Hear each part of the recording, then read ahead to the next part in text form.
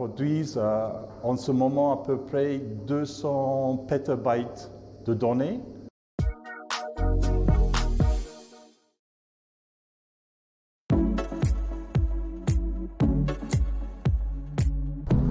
Bonjour, je m'appelle Vincent Etier, je suis directeur de projet conception et construction pour le data center du CERN. Suivez-moi, je vais vous montrer à quoi ça ressemble.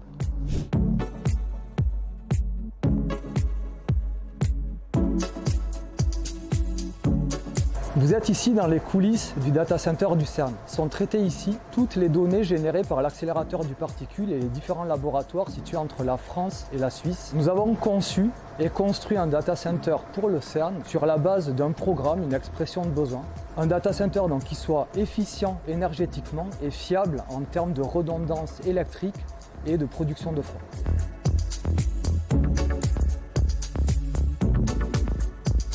On a laissé euh, carte blanche à Equance à faire le design pour prendre de leur expérience d'avoir un centre euh, très efficace en termes d'énergie. On produit euh, en ce moment à peu près 200 petabytes de données qu'il faut stocker, traiter et envoyer dans les autres centres qui participent avec nous mondialement.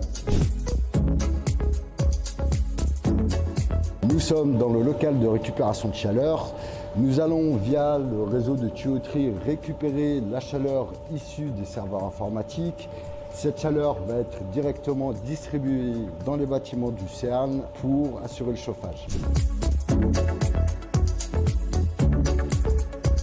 On se trouve actuellement dans le local batterie qui est composé de plusieurs chantiers batterie et ce qui permet aux clients de pouvoir sauvegarder ces données dans un délai de 10 minutes en cas de perte d'énergie électrique.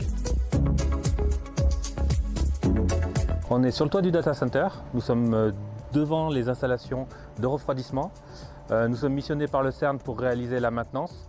Euh, on a comme mission principale de faire en sorte que les installations ne s'arrêtent jamais, de prévenir les pannes et d'intervenir au cas où. On a une mission qui est très importante aussi, c'est la gestion des consommations d'énergie.